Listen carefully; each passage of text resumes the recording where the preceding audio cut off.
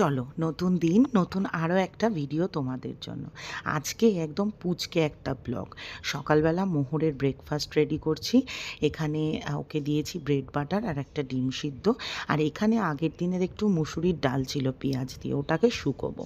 আর এই বৃষ্টির ফলে আমাদের রাস্তার এই অবস্থা।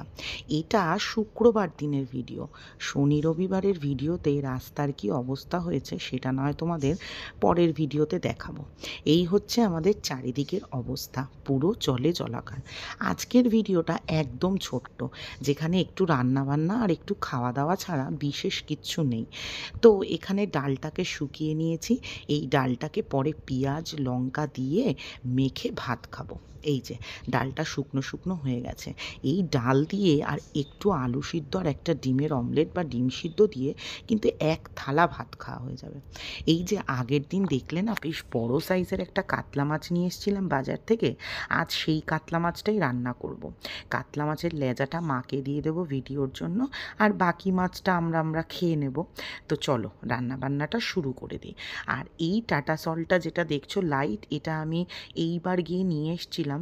তবে এই নুনটা দিয়ে রান্না করতে আমার একটু সমস্যা হবে, কারণ এতদিন তো আমি অন্য নুন দিয়ে রান্না করতাম।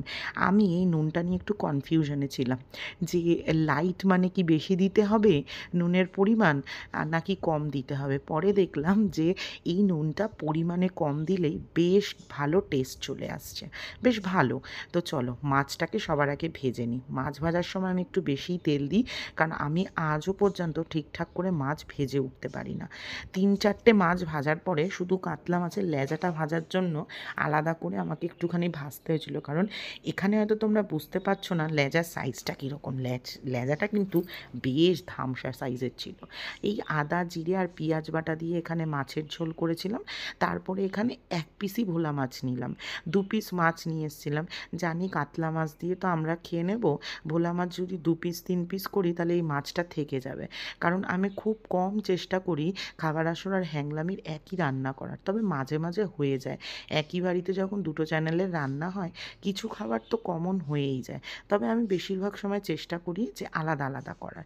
এই জন্য এক পিসই ভোলা মাছ করলাম। কাতলা মাছের ঝোলটা হয়ে গেছে। আর এই যে দেখতে পাচ্ছ এখানে এতটা জল দিয়েছি, তার কারণ আমি নুনের পরিমাণটা বুঝতে পারছিলাম না। আগের দিন তোমরা অনেকে জিজ্ঞাসা করেছিলে না যে তেলাপিয়া মাছের চচ্চড়িটা অন্য কোনো মাছ দিয়ে করা যায় কি না বিশ্বাস করো, আমার সত্যিই জানা ছিল না। তো আমি ভাবলাম আজকে এই বেলে মাছটাও তো ছোট মাছ এবং বেশ নরম মাছ। দেখি এটা দিয়ে ট্রাই করে হয় কি না যদি হয়, তাহলে তোমাদের বলব বেলে মাছ দিয়েও করতে পারো। মাছটাকে ভেজে নিয়ে উপর থেকে এই আলু ঝুড়ি ঝুড়ি করে কেটে যেমন করে করি আমি তোমাদের তো দেখিয়েই দিয়েছি চচ্চড়ির রেসিপিটা তবে হ্যাঁ বেলে মাছ দিয়ে করে টেস্টটা কিন্তু আরও বেশি ভালো লাগছিল। কারণ বেলেটা একটু সামুদ্রিক মাছ তো, বেশ একটু অন্যরকম গন্ধ আর অন্যরকম ফ্লেভার এসেছিল মাছটাতে। আলু, ওই চচ্চড়িটা করার জন্য যে আলুটা একটু কেটেছিলাম, একটু বেশি করেই কেটেছিলাম, সেই আলুটাকেই একদম করকরে করে ভেজে নিলাম। আমি আজকে দুপুরবেলা একদম জমিয়ে খাব, আজ তো আমার ভিডিও নেই। তবে পরে মনে হচ্ছিল যখন খেতে বসেছি, আহারে, এই খাবারটা দিয়ে তো খাবার আসলেও একটা ভিডিও হয়ে যেত। তোমরাও হয়তো দেখে মজা পেতে। এই দেখো, বেলে মাছের চচ্চড়িটা রেডি হয়ে গেছে। আমি নামানোর আগে আজকে অল্প একটু রসুন কুচি করে দিয়ে দিয়েছি, যেহেতু ধনে পাতা ছিল না। আর এখানে একটুখানি পটল ভেজে নিচ্ছি।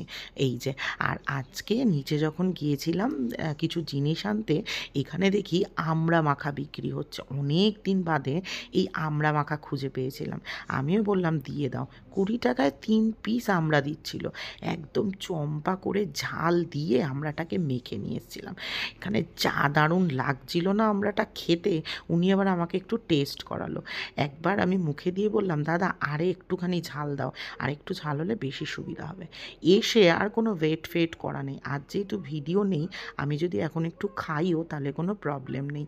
এই জন্য আমরাটা নিয়ে এসেই আগে ঢেলে নিলাম যে একটুখানি খাই। মুখে দিতেই আমি যেন হারিয়ে গেলাম। দেখতেই কি ভীষণ টেম্পটিং লাগছে না। বাড়িতেও জানো তো, এরকম আমরা আম পেয়ারা মাখার চেষ্টা করেছি। হয়, কিন্তু এই টেস্টটা আসে না। আর অপেক্ষা করে কি কাজ নিয়েই দিলাম মুখে ঢুকিয়ে।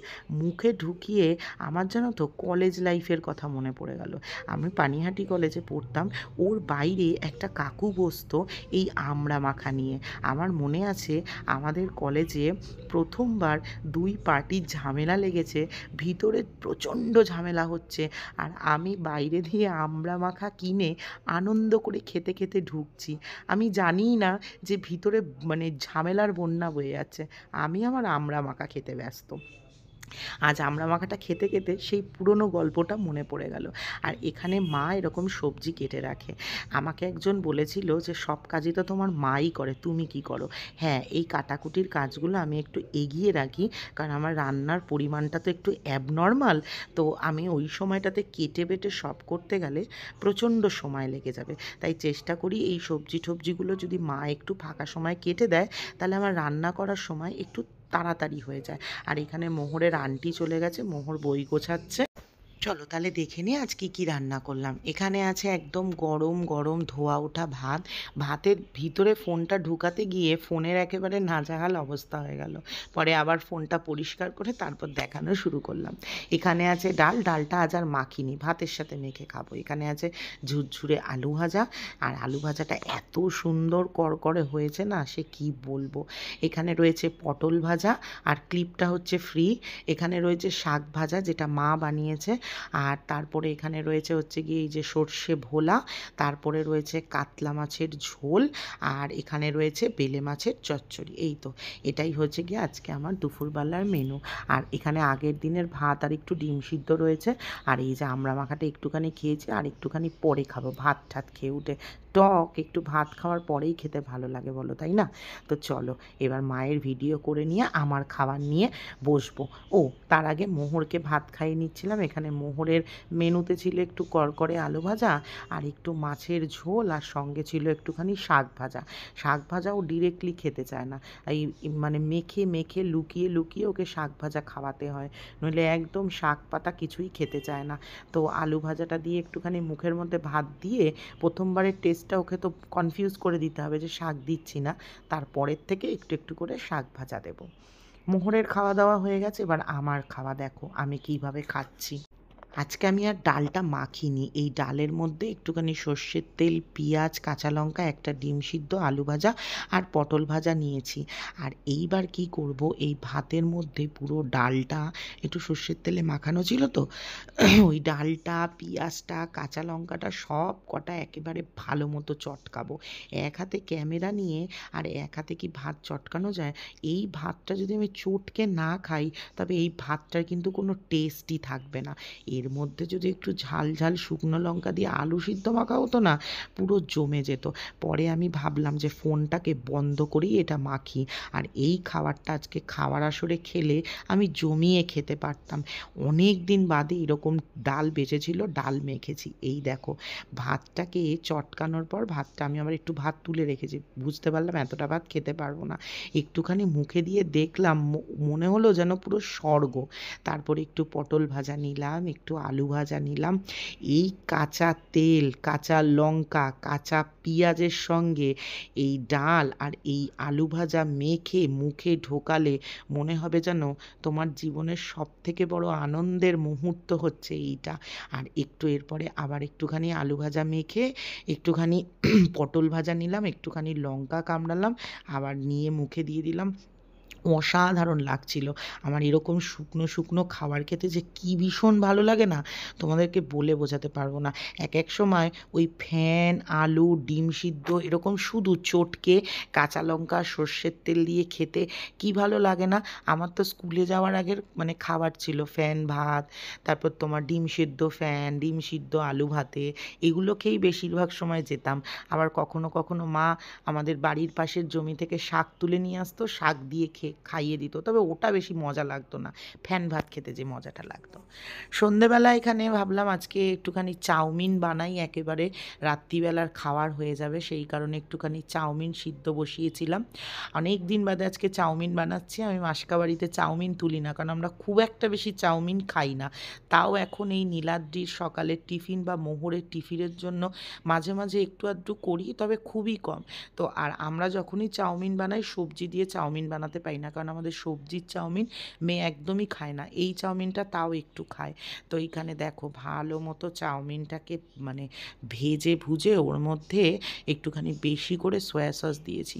চাউমিনটাকে দেখতে পুরো স্ট্রিট ফুডের মানে স্ট্রিট চাউমিন যেরকম হয় না ওই রকম লাগছিল। এর মধ্যে যদি একটুখানি পেঁয়াজ পাতা বা রসুন পাতা দিয়ে দিতাম, পুরো রাস্তার হাক্কা নুডল হয়ে যেত। দাঁড়াও, ভালো মতো এটা মিশিয়ে নিয়ে তোমাদেরকে দেখাচ্ছি।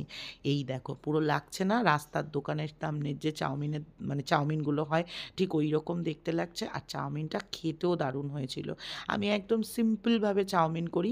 আর কোনো কোনো সময় নামানোর আগে একটু হয় চাউমিন মশলা, না গোলমরিচ দিয়ে দিই। এই তো, আমাদের এটা রাত্রিবেলার ডিনার।